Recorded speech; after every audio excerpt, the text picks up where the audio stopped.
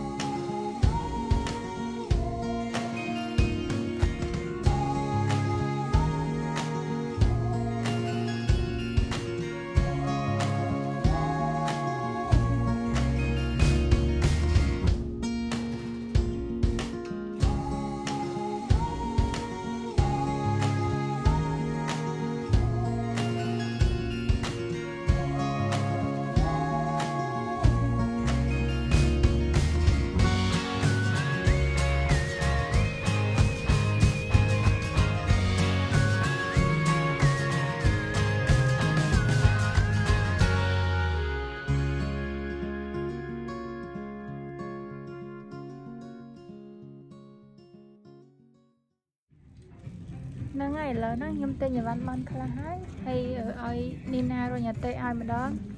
ហត់ពេកដើររកអីវ៉ាន់ឲ្យនីណាដាក់ក្នុងក្នុងបន្ទប់ទៀតឥឡូវហ្នឹងនេះទាំងអស់គ្នាឥឡូវហ្នឹងអីវ៉ាន់ខ្ញុំទិញរួចហើយអស់ហើយឥឡូវហ្នឹងខ្ញុំទៅគិតលុយអីវ៉ាន់មើលទេហ្នឹងហើយឥឡូវហ្នឹងខ្ញុំទៅគិតលុយតែខ្ញុំអត់អត់គិត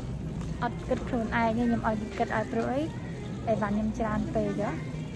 អីវ៉ាន់ច្រើនពេកខ្ជិលខ្ជិលអញ្ចឹងខ្ញុំទៅឲ្យគេគិតឲ្យឥឡូវហ្នឹងគេកុំគិតអីវ៉ាន់ឲ្យខ្ញុំអីវ៉ាន់ច្រើនដែរហ្នឹងហើយនេះទាំងអស់គ្នាឥឡូវហ្នឹងអីវ៉ាន់ខ្ញុំទិញរួចហើយហើយអរគុណបងប្អូនសម្រាប់ការទស្សនាវីដេអូខ្ញុំហើយកុំភ្លេច ជួយចុចឲ្យខ្ញុំម្នាក់មួយផងអរគុណបាយបាយ